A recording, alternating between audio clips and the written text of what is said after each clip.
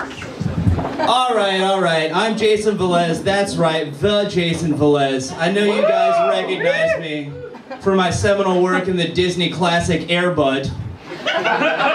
Right? Really? Yeah. Yeah, really. Do you, so you remember the kid that got benched for the fucking golden retriever? I've never seen That was me. I was that kid. I got benched for that dog. You know what it's like to get benched for a dog that didn't show up to a single fucking two a day?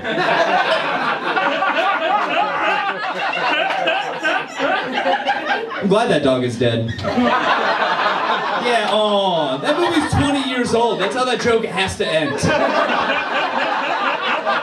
Ah, fuck. Dude, I turned 30 at midnight. That's a fact. Yeah, don't, don't applaud. Don't, don't do that. I skateboarded to do two minutes of comedy at Vagabond. Like, that's not, that's not what a 30 year old should be doing. It's not a good sign of where your life's at.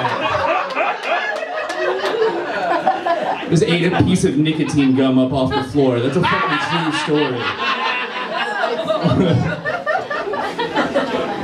Ah. You know the type of skateboarders that like skates on the road and not the sidewalk? You know the ones that want to die? Yeah, that's a that's the kind of skateboarder I am. If you guys see me on the way home, just veer to the right. You got my full permission. Veer. Oh, oh did it get a little dark for everybody? Get a little dark. Yeah, uh, I'm 30 years old, and all my friends are like, "Hey, Jason, what do you want to do for your birthday? What kind of party?" For my 30, dude, look at this.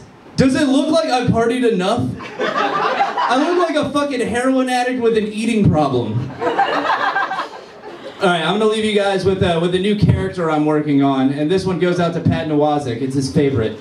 All right, it's called Past Tense Italian.